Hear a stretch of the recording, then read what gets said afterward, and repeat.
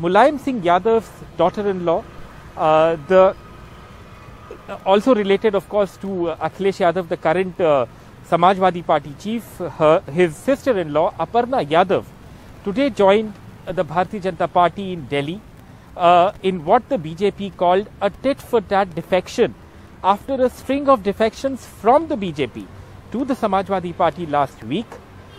Akhilesh Yadav today did not shy away from taking questions about this after the BJP uh, accused him of not, not even being able to run his family properly. He held a press conference, took questions of Aparna Yadav, almost suggested, in not in as many words, that she was a political lightweight.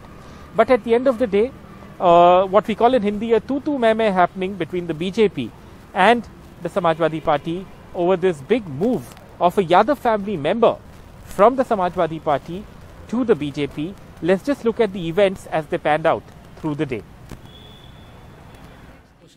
The Akhilesh Yadav BJP rivalry turning personal. Aparna Yadav, Akhilesh's sister-in-law, joined the BJP. The BJP, still smarting from high-profile desertions last week, led by OBC strongman Swami Prasad Maurya, suggested Aparna's move was a tit-for-tat defection. Shrimati Aparna Yadav ji Bharatiya Janata party परिवार का हिस्सा बनी हैं। मैं सबसे पहले Bharatiya Janata party परिवार में आपका स्वागत करता हूँ। उत्तर प्रदेश के पूर्व मुख्यमंत्री और समाजवादी पार्टी के वर्तमान अध्यक्ष श्री अखिलेश यादव जी अपने परिवार में ही सफल नहीं है।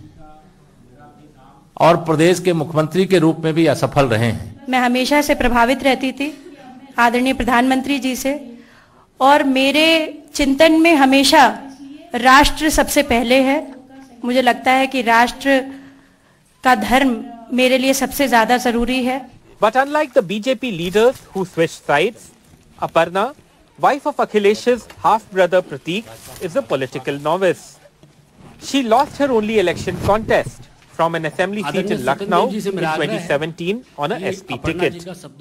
मैं बधाई देता हूँ भारतीय जनता पार्टी को कि कम से कम हमारी समाजवादी विचारधारा का विस्तार हो रहा है जिन्हें टिकट हम नहीं दे पा रहे हैं उन्हें टिकट वो दे रहे हैं At the BJP head office in New Delhi, where Aparna Yadav was given the party membership, on her side were UP Deputy Chief Minister Mr. Keshav Prasad Maurya and UP BJP President Mr. Swatantra Dev Singh. UP Chief Minister Mr. Yogi Adityanath was not present at the event. But both BJP Chief JP Nadda and the Chief Minister met with Aparna later. उनको Bharatiya Janata party और double engine की सरकार का प्रधानमंत्री मोदी जी की कार्यशैली पसंद आई। उन्होंने भारतीय जनता पार्टी को आज अपना यानी की सदस्यता ली है। हम उनका स्वागत करते हैं। The next big question will Aparna Yadav get a BJP ticket for the election and where will she contest from sources से a seat on the outskirts of Lucknow is on offer. With camera person Vineet Verma and Sukirti Divedi, this is Alok Pandey, NDTV.